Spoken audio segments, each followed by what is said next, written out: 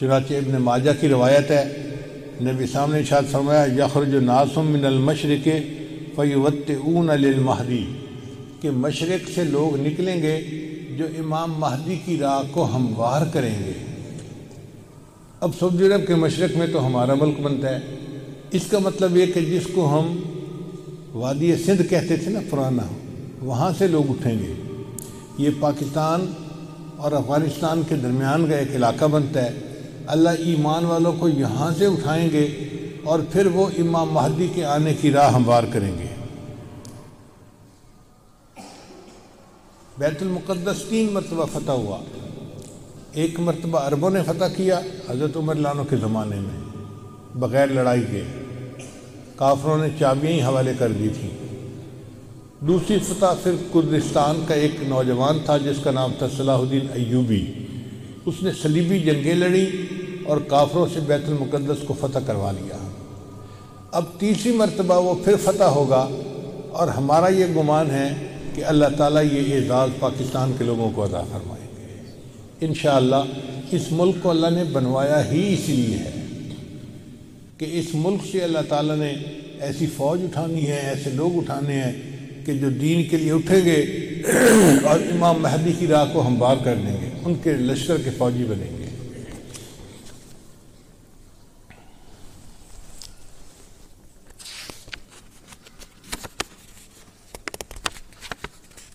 علامہ اقبال نے بہت خوبصورت شعر کہا ہے فارسی میں۔ خضر وقت از خلوت دشت حجاز آید بروں خضر وقت سے مراد امام مہدی۔ خضر وقت از خلوت دشت حجاز آید بروں کاروان زی وادی دور و دراز آید بروں یعنی زی عظیم، یہ کارواں جو ہے نا، یہ دور دراز سے آئے گا۔ اور حجاز کے اندر آ کر یہ برآمد ہوگا۔ حدیث مبارکہ میں بھی ہے کہ امام مہدی آئیں گے، مگر وہ چھپے ہوں گے، اپنے آپ کو چھپائیں گے۔ پہلے مدینہ طیبہ میں ہوں گے، مگر وہ وہاں سے مکہ مکرمہ اس لیے آ جائیں گے کہ لوگ مجھے پہچان نہ لیں۔ چھپ رہے ہوں گے لوگوں سے کہ لوگ مجھے دیکھ نہ لیں، پہچان نہ لیں۔ لیکن جب مکہ مکرمہ میں وہ طواف کر رہے ہوں گے تو وہ حجر اسود کے قریب آئیں گے تو ایک غیب سے آواز آئے گی کہ لوگوں یہ مہدی ہیں، تم ان کی بیت کر لو۔ تو لوگ ان کے ساتھ بیت کر لیں گے اور پھر ان کے ساتھ ایک لشکر شروع ہو جائے گا۔ یہ لشکر ایسا ہوگا کہ جس نے بالآخر بیت المقدس کو فتح کرنا ہے حدیث مبارکہ میں ہے کہ کالے جھنڈے یہ لے کر لوگ اٹھیں گے اور وہ اس کو جا کر بیت المقدس کے اندر گاڑیں گے۔ یعنی امام مہدی کے ہاتھ پہ اللہ تعالیٰ بیت المقدس کو فتح کروائیں گے۔ پھر امام مہدی موجود ہوں گے تو ان کو ان کی موجودگی میں حضرت عیسیٰ علیہ السلام بھی آئیں گے۔ دمشق کی ایک مسجد ہے۔ اس مسجد میں وہ نماز کے لیے کھڑے ہوں گے۔ تکبیر کہی جائے گی۔ تو اتنے میں حضرت عیسیٰ علیہ السلام اس مسجد کے مینارے کے اوپر اتریں گے آسمان سے۔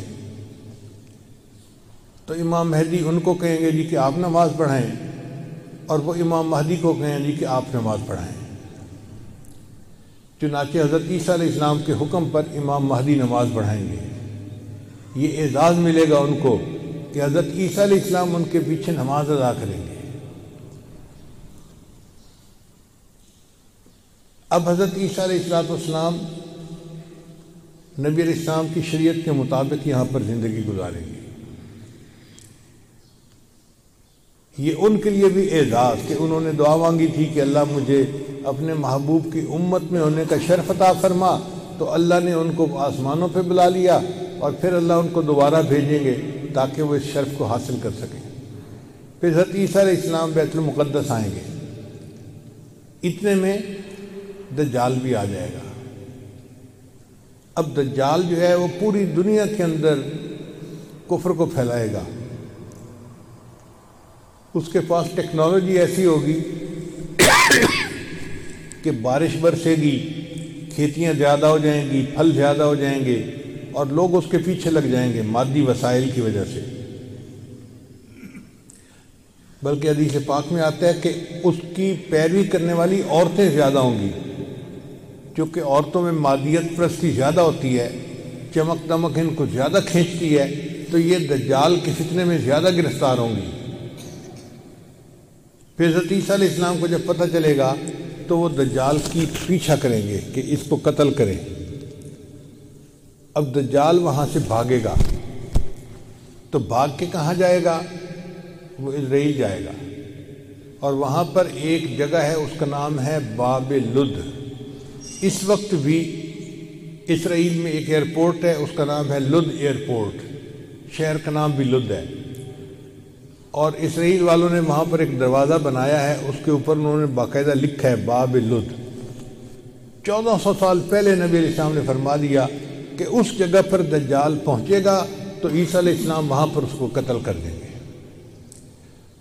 بہت عرصہ میں یہ سوچتا رہا کہ دجال نے بھاگنا تھا تو کہیں پہاڑوں میں روپوش ہو جاتا۔ رشیا کے پہاڑ ہیں، دوسرے ملکوں میں پہاڑ ہیں، پہاڑی سلسلے تو بہت ہیں پوری دنیا میں۔ تو یہ مقام لد کا کیا معنی بعد میں بات سمجھ میں آئی کہ لد کا جو ایئرپورٹ ہے نا، وہ اسپیس پورٹ بھی ہے۔ یعنی وہاں سے جہاز بھی اڑتے ہیں اور وہاں سے خلائی گاڑیاں بھی اڑ کے خلا میں جاتی ہیں۔ اس کا مطلب یہ کہ دجال یہ چاہے گا کہ میں لد پہنچوں اور وہاں سے اسپیس شپ میں بیٹھ کے میں خلا میں چلا جاؤں۔ کیونکہ دنیا میں تو مجھے یہ نہیں چھوڑیں گے، تو میں یہاں دنیا سے چلا ہی جاؤں۔ تو اس کی کوشش یہ ہوگی کہ میں یہاں سے خلا میں چلا جاؤں۔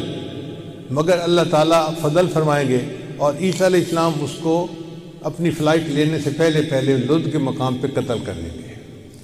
پھر اس کے بعد عیسیٰ علیہ السلام بیت المقدس کے تخت پر بیٹھ کر پوری دنیا کے فیصلے کریں گے۔ پوری دنیا کی حکومت عیسیٰ علیہ السلام کے ہاتھ میں ہوگی۔ پھر عیسیٰ علیہ السلام سلیب کو توڑیں گے اپنے ہاتھوں سے۔ اور پھر یہود و نصارہ میں جو ان کی مخالفت کرے گا، اس کو وہ قتل کریں گے۔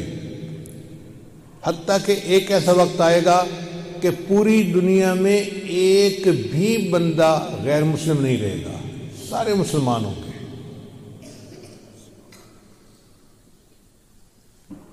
اس وقت اتنی برکتیں ہوگی، حدیث پاک میں آتا ہے کہ ایک گائے کا دودھ پورے خاندان کے لیے کافی ہو جائے گا۔ اب یہ بات تو سمجھ میں آتی ہے۔ آج ایسی گائے بن گئی ہیں جو ایک سو لیٹر دودھ دیتی ہیں ایک دن میں۔ اب ایک سو لیٹر تو واقعی پورے خاندان کے لیے کافی ہے، چالیس پچاس گھروں کے لیے کافی ہو جاتی۔ یہ باتیں نبی صاحب نے اس وقت فرمائیں جبکہ لوگوں کو اس کا تصور بھی نہیں ہو سکتا تھا۔ میرے آقا صلی اللہ علیہ وسلم کی نگاہ کیسی تھی؟ یہ نگاہ نبوت تھی جو بہت دور دیکھ لیتی تھی کہ چودہ سو سال پہلے بیٹھ کر ایسی باتیں کی جیسے آج اپنی آنکھ سے دیکھ کے کوئی بندہ بات کر رہا ہوتا ہے۔ پھر عیسیٰ علیہ السلاۃ والسلام فوت ہو جائیں گے اور اس کے بعد جو بگاڑ آئے گا نا، وہ پرماننٹ بگاڑ ہوگا۔ اور اس کے بعد پھر قیامت قائم ہوگی۔ اللہ شرار الناس، ان لوگوں پر جو سب سے زیادہ شریر لوگ ہوں گے۔ تو ایسے لگتا ہے حالات سے کہ قیامت کے بڑی بڑی نشانیاں پوری ہو گئیں۔ اب امام مہدی کے آنے کا وقت بہت قریب ہے۔ یہ جو حالات میں اتنی بڑی تبدیلی نظر آ رہی ہے نا، یہ کسی کسی چیز کا پیش خیمہ ہے۔